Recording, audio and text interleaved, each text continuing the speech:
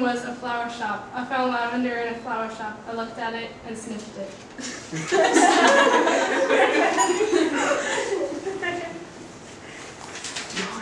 Ah. I've just begun high school. I'm your normal, everyday student, except that I have recorded a dream diary on cassette since I was six. My parents believe that dreams are messages from your future.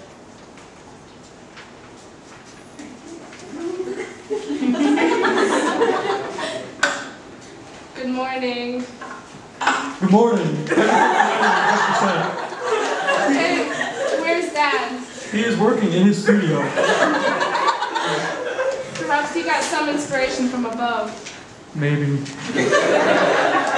father, Koki, is an artist. When inspiration hits, he stays in his room. My mother, Yoko, is a psychotherapist.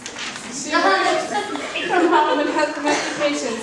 I tell my mom about my dreams every morning. Bon appetit. Which movie are you going to see with Kyrie and Dave? I think I think it's called Love Attack. Who chose that one? Narumi, she's crazy about Masayuki, so the title probably appeals to her. Really? Narumi likes Masayuki? Yeah. Uh, didn't you tell her that she's going, he's going out with Junko? Haven't had the chance. That could be a problem. Yeah. What about Kaori? Does she like anybody? I, d- I don't think so. I see. And you? Me, no, of course not.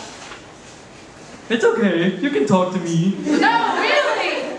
Well, now, that's a shame. Were you in love with any with someone when you were my age? Well, of course I was. Don't worry about it, Yuki. You'll find someone. In the closet. Why don't you tell me about your dream last night? Okay, it was. My mother smiled when I told her about my dream. She said that gazing at lavender at a flower shop and taking in its scent was a sign that I would fall in love with someone nice. I wonder if it's true.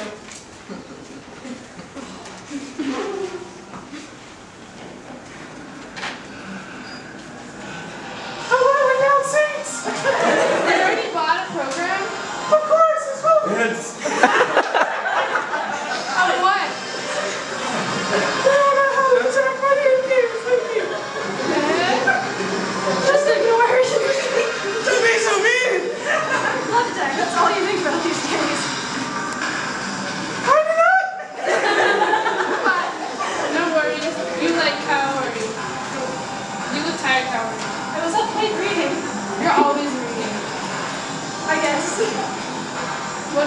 now? Last convention. Uh, I like it.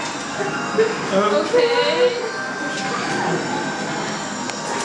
Is that seat taken? Good deal. Ouch!